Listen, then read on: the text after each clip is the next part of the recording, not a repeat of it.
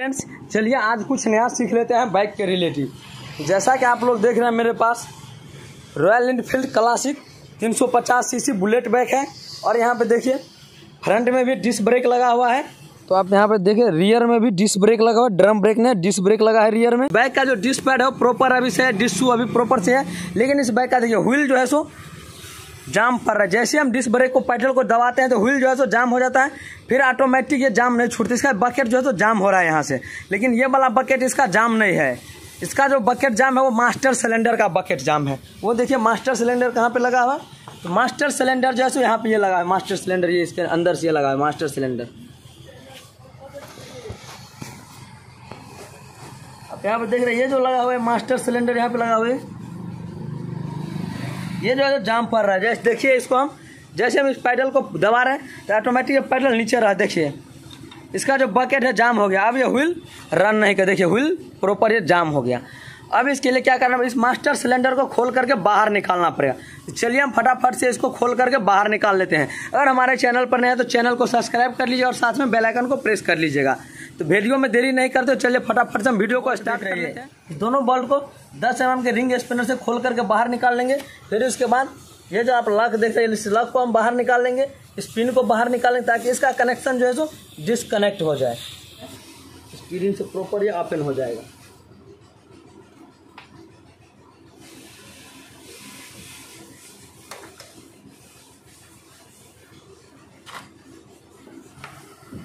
यहाँ पर देखिए बकेट असेंबली जो था मेरा खुल करके बाहर आ गया। अब इसके अंदर देख रहे हैं बकेट जो है, ये जाम पड़ रहा है। अब इसके ऊपर जो लक देख रहे हैं, इस लक को पहले हम बाहर निकालेंगे।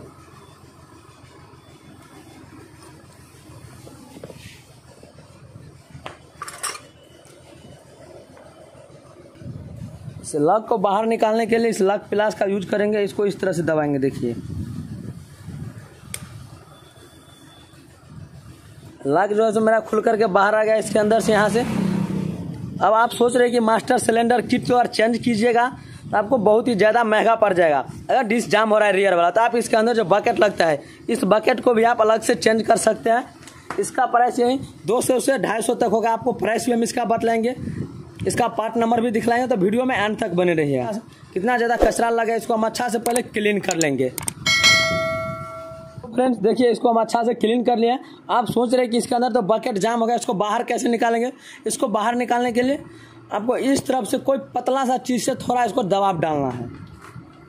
पेचकस ले लेना स्क्रू ड्राइवर इसके मदद से यहाँ से थोड़ा इसको दबाव डालना है इस तरह से।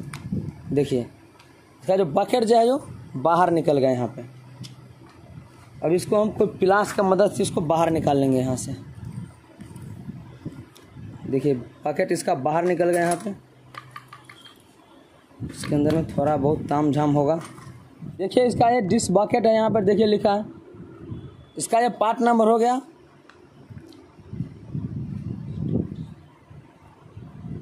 आप यहाँ पे देख रहे हैं डिस बकेट का जो पार्ट नंबर आप यहाँ पे लिखल है। Major kit rear M C N T ये रियर वाले ब्रेक का डिस बॉकेट है। ये रॉयल इनफील्ड का जेनवन पार्ट आप यहाँ पे देख रहे हैं रॉयल इनफील्ड लिखा हुआ भी है। अब इसको पहले हम अनबॉक्सिंग करके आपको दिखला रहे हैं यहाँ से देखिए। ये देखिए इसका कितना प्यारा से पैकिंग है। इसके अंदर आपको ये डस्ट बॉकेट है। इसके अंदर थोड़ा आपको गैस मिल रहा है यहाँ पे। तो फ्रेंड्स अब हम देखिए फुल डिश बॉकेट किट है आप यहाँ पे देख रहे हैं। ये जो आप फाइबर देख रहे हैं इस, इसका फाइबर है ये मास्टर सिलेंडर के अंदर ये फाइबर प्रॉपर आपको फिट हो जाएगा। इसका जो अंदर में फाइबर जो लगा है बॉकेट के अंदर में, ये खराब हो चुका है। तो इसको निकालना कैसे ये भी आपको हम बतलाएँगे। और आप इस तरह का छोटा सा पेचकस ले लेना है और इसके, इस पेचकस की मदद से इसको इस तरह से आपको आस्ते आस्ते बाहर निकाल लेना है। देखिए, ये जो है सो, इसी के प्रॉब्लम से इसका डिस्क बॉकेट जो है सो जाम हो रहा था। अगर इस, अगर आपके बाइक में अगर ख़राब नहीं है फाइबर तो आप उसको चेंज नहीं कीजिएगा। आप सिर्फ़ और सिर्फ़ इसका बकेट चेंज कीजिएगा।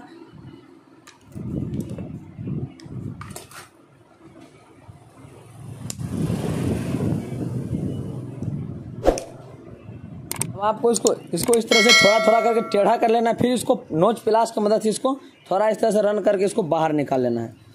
देखिए प्रॉपर इसका फाइबर था, इसके अंदर बाहर निकल गया। अब इसके अंदर आप थोड़ा ओरिंग दिख रहा होगा यहाँ, बाहर निकाल लेंगे। देख रहे हैं, इसके अंदर कितना ज़्यादा रस्ट लगा, आप देखिए, इसके अंदर जंग लग गया है। अब हम इसको क्या करेंगे?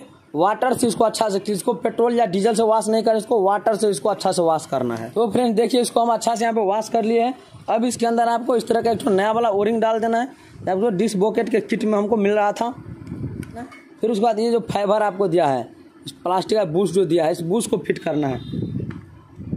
ये तो इसके साथ इस इस तरह का आपको ग्रीस पॉच भी मिल रहा था। या हम क्या थोड़ा सा यहाँ पे ग्रेस का यूज़ कर लेंगे इसको, यहाँ पे। इस तरह से। फिर इसके अंदर इसको इसी तरह से आपको डाल देना है देखिए। ऑटोमेटिक अंदर चला जाएगा इसको कुछ भी नहीं करना है आपको। इसको दबाएँगे कैसे? तो पुराना वाला जो बूस जो हम बाहर निकाले थे उस बूस को इस, इस पर रख देना है और प्लास की मदद से इस पर थोड़ा थोड़ा आपको दबाव डालना है इस तरह से। देखिए बूस जो था मेरा नया वाला वो प्रॉपर अंदर चला गया यहाँ पर आप देख रहे हैं। तो आपको इसमें फिट करना पड़ेगा इसका बकेट बकेट फिट करने के लिए आपको सबसे पहले ये जो ये जो पिन देख रहे हैं इसके अंदर आपको डाल देना है एक ये वार्सल, जो आपको बूस बकेट के साथ आपको मिल रहा था। देखिए, फिर उसके बाद डालना है ये रबर। आपको जिस तरह से हम बतला रहे उसी तरह से आप फिट कीजिए। अगर आप उल्टा फिट कीजिएगा, आपका डिस्क प्रॉपर वर्क नहीं करेगा। इस तरह से आपको डालना है, इसका जो कलर जो बना हुआ है यहाँ पे, इस कलर को आपको ऊपर की तरफ़ रखना है ये। देखिए प्रॉपर फिट हो गया। अब इसके बाद डालना है, इस तरह का आपको तकली सा पिन मिल रहा है इस पिन को डालना है। इस तरह से आपको डालना है ये, देखिए। देखिए, इसके साथ क्या करना है? ये जो नया वाला स्प्रिंग आपको मिल रहा है, इस स्प्रिंग को इसके अंदर इस तरह से आपको फिट कर देना है यहाँ पे। देखिए डिस बकेट जो मेरा बन करके तैयार हो गया, अब हम इसको क्या करेंगे? इसके अंदर प्रॉपर फिट कर देंगे यहाँ पे। देखिए डिस बॉकेट जो है तो मेरा प्रॉपर कंप्लीट हो गया, देखिए प्रॉपर ये वर्क भी कर, पहले ये इस तरह से वर्क नहीं कर रहा था, ये जाम पड़ रहा था, देखिए, किस तरह से वर्क कर रहा है। अब हम इसको क्या करेंगे? इसके अंदर पहले लाख फिट नहीं करेंगे। इसको ऐसे ही छोड़ देना है। इसको अब हम फिट करेंगे बाइक में इस मास्टर सिलेंडर किट को। इसको दबाते हैं जो बाइक लाइट जलता है, उसी का रियर में ब्रेक स्विच लगा हुआ है यहाँ पे। इसको पहले अच्छा से हम टाइट कर लेते हैं, इसको रियर से हम ब्रेक स्विच वाले नट को टाइट करेंगे अच्छा से। इस लाख पाइप को पहले इसके अंदर फिट कर लेना है। हम इस लाख को यहाँ पे प्रॉपर फिट कर लेंगे पहले। इसके अंदर नया वाला डिश एल डालेंगे। देखिए, इसके अंदर एक बूंद भी आयल नहीं आपको देखने को मिलेगा। तो देखिए, मेरे पास ये डॉट थ्री ब्रेक वाले आप देखिए, ब्रेक एंड क्लच फ्यूल।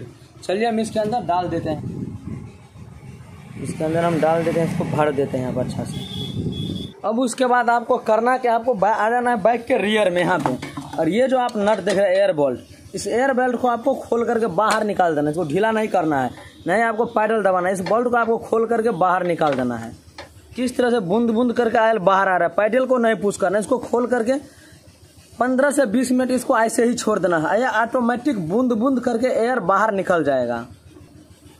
आपको इसके नीचे में एक डब्बी रख देना ताकि इसके अंदर से जो भी आयल बाहर आएगा वो आयल इस डब्बी के अंदर चला जाएगा। देख रहे हैं आप, बूंद बूंद करके एयर बाहर निकल रहा है। और इसके अंदर आपको आयल भी चेकअप करना है, क्योंकि आयल जल्दी सट जाएगा।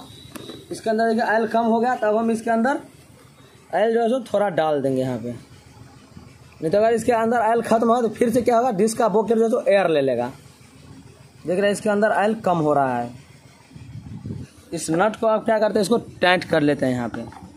देखिए, इस नट को हम टीरिंग से इसलिए अपन किए, क्योंकि इसके ऊपर जो है सो इसके ऊपर देख रहे हैं आप थोड़ा सा भी घाट नहीं बना, इसका घाट जो है सो खराब हो गया, इसलिए इसमें आठ एम एम का रिंग स्पिनर प्रॉपर नहीं फिट हो रहा था, इसलिए मुझे टीरिंग से इस बॉल्ट को अपन करना पड़ा। फुल टैच कर लेंगे। इसका जो लॉक है, इसका अंदर जो लॉक अपन इस लॉक को आप फिट कर लेना है यहाँ पे।